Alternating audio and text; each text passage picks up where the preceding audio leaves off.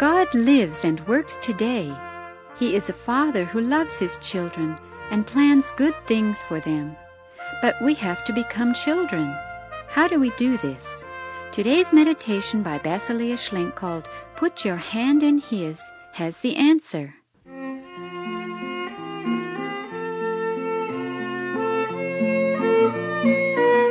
Become like a child, and the kingdom of heaven will be yours. Our Lord Jesus has promised us this. But how do we become like a child? The first step is to admit that we're small and weak in comparison to the greatness of God, and to realize that we don't know or understand anything, like a child in comparison to adults. We must accept the fact that our thoughts, wishes, and ideas are limited so limited that we're incapable of judging correctly whether the ways by which God is leading us really are wrong or are too difficult for us. In comparison to the Almighty God and Creator, we are really very small and insignificant, much smaller than a child in relation to his father. Therefore, we must each become a child. Then we will be willing to accept the truth that it's foolish to think we can decide where God's way should lead. I'll sing of God's care and guiding, the way of His own providing, the path through the night with blessings are bright. When we have recognized this and have accepted it, then the second step is to offer the Father our trust. For he is the Father of all fathers, and as the Bible says, he is pure love. God has shown this love to us in that he tore his only Son away from his heart and sent him to die for us. His love wants to bring us home. It wants to rescue us from all evil and harm, from everything that makes us unhappy. If anyone has ever loved us, it is our Father in heaven. Therefore, when it is night in your soul, and the ways are difficult and hard to understand, put your hand into His. He is beside you. Yes, the very fact that He is leading you along dark paths is a sign that He is at work in you. God is taking painstaking efforts to prepare you now, so that one day you will be able to experience eternal happiness. You must only trust His love. Trust that it is He, your loving Father, who is at work. If you trust Him in childlike faith, you will find Him today, and your difficulties will become easy to bear. Temptation and despair will have to disappear, because you know for a certainty that you are loved. You know that the way God is leading you is the right way, the best way, and that it will lead to a glorious end. I sing, I sing, God adoring,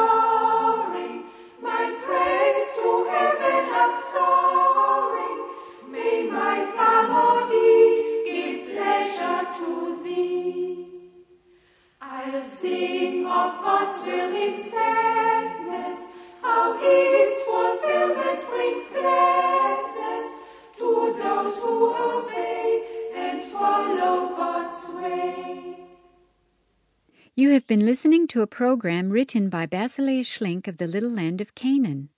To learn more about how God lives and works today, visit us at our website www.kanaan.org. That's K A N A A N dot org.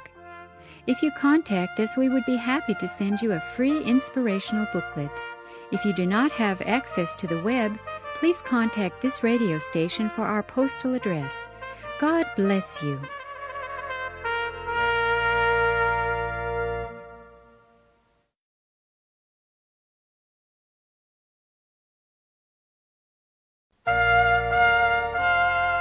God lives and works today.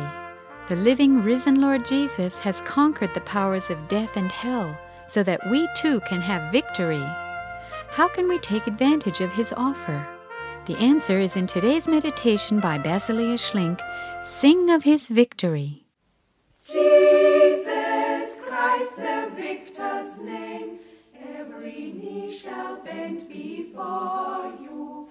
Seated on the heavenly throne, all creation shall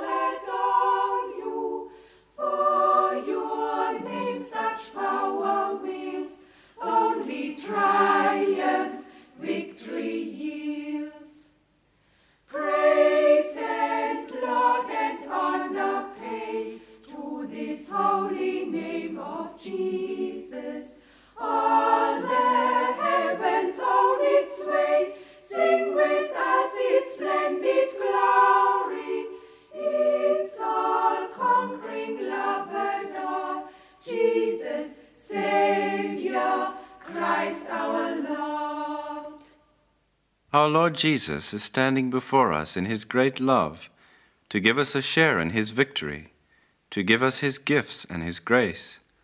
How little we have to do to take advantage of his offer. If we want to claim the offer of Jesus, the first thing we have to do is give him our time. It is not enough to offer a few minutes or a quarter of an hour every morning for a whole day. If I can sacrifice hours during the day for earthly and transient things, and even for unpleasant things, how much time do I give in order to come to Jesus to receive His offer? I can only receive His offer if I come to Him and stay by Him. That is a law of love. Love only gives when the other comes and listens and when he is open. However, that takes time. Jesus also needs time to reveal himself to us. This does not happen within a short space of time. Prayerfully, we must sink ourselves into Jesus. With an open heart, we must search the Scriptures and listen to his voice. Such times of prayer can bring about very important changes in our lives. They bring us into intimate contact with Jesus so that we can become free from fears and bondages. But during these times of prayer, it is important to praise the blood of the Lamb over our bondages to sin, over our fears and difficulties. To claim the victory of Jesus means to fight a battle of faith by praying again and again, praising his victory which has been sealed by his wounds. There is power in prayer when we proclaim the power of his wounds. Then we are declaring what Jesus has done for us. Hell and Satan have to hear it and yield because Jesus has conquered them.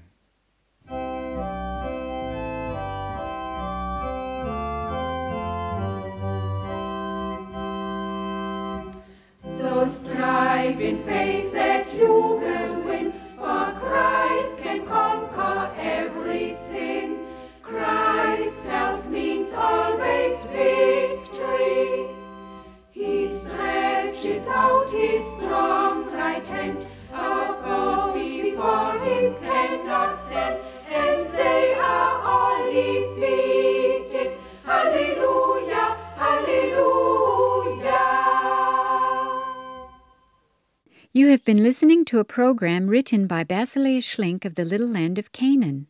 To learn more about how God lives and works today, visit us at our website www.kanaan.org. That's K A N A A N dot org. If you contact us, we would be happy to send you a free inspirational booklet. If you do not have access to the web, please contact this radio station for our postal address. God bless you.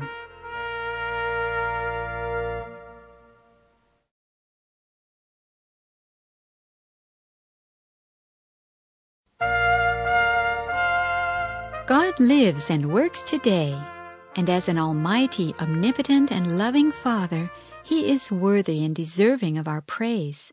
Today's program by Basilea Schlink is about praise, the highest calling of man. Sing with joy and worship Him. Rejoice in the Lord,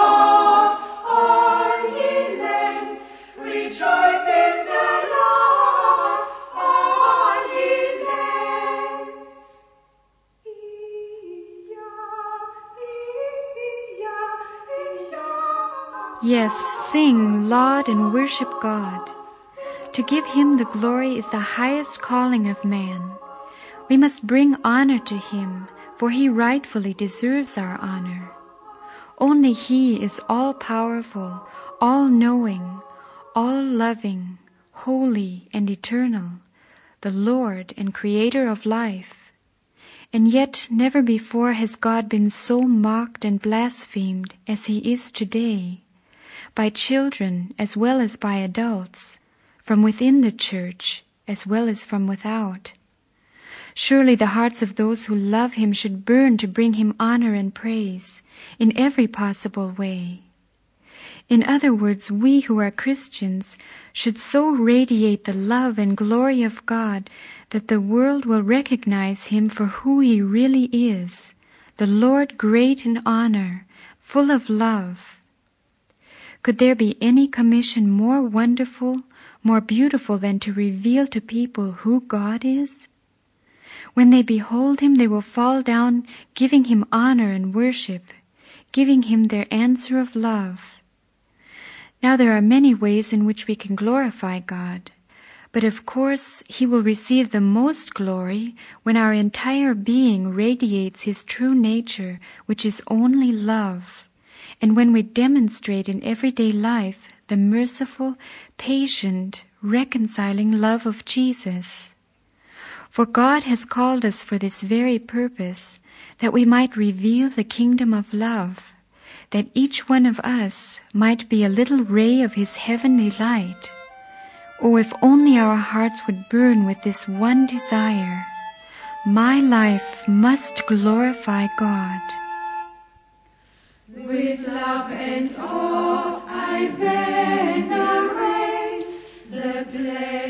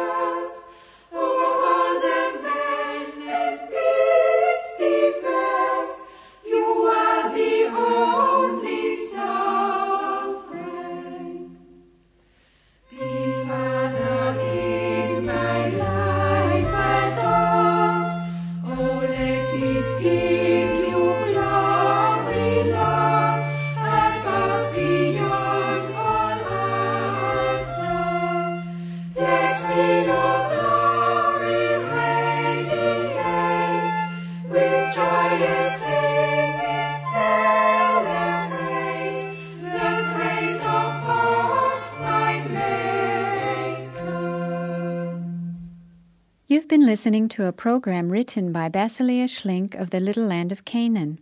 If this program has been a help to you, we would be happy to send you a free leaflet by the same author. Please write to God Lives and Works Today, 9849 North 40th Street, Phoenix, Arizona 85028 4099. That's God Lives and Works Today, 9849 North 40th Street, Phoenix, Arizona 85028 4099. God bless you.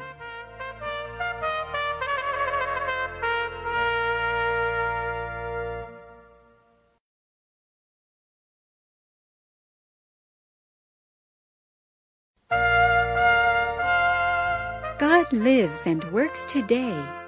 Sometimes his plans and leadings are painful, but he always knows what is best. If it is hard for you to understand his ways, today's meditation by Basilea Schlink can be of help to you.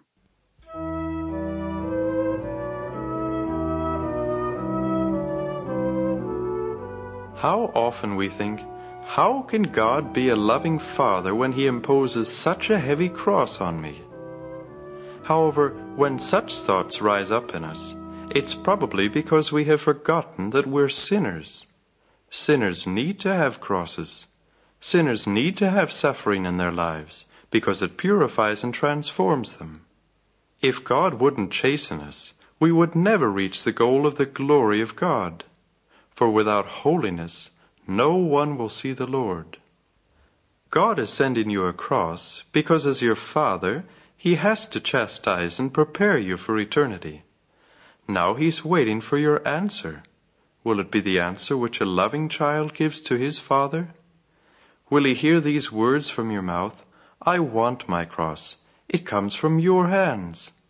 You've given it to me, and if you don't want to take it away, I want to accept it. It's an expression of your love. This commitment has power before all the invisible world. Satan, who hates the cross, will flee from you, and Jesus, who humbly carried his cross, will come to you and lovingly take you into his arms. You'll then be a true disciple who obeys Jesus' command. If any man would come after me, let him deny himself and take up his cross and follow me. Matthew 16. This will bring joy to the heart of Jesus and the Father. Cross-bearing, blessed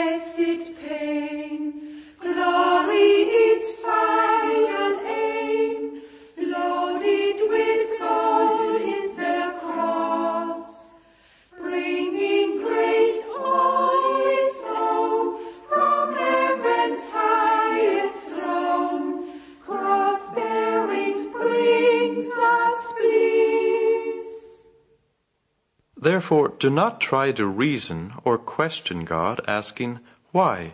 Why does God, who says He is a Father of love, have to lay this cross on me? Don't look at yourself, look at Jesus, who entered into glory through the cross. Your cross is the boat which will carry you into the city of God. There's only one way which leads to glory, the way of the cross. Yes, according to the Holy Scripture, it is the cross and suffering which bring us glory. Therefore, look forward to what will come and rejoice.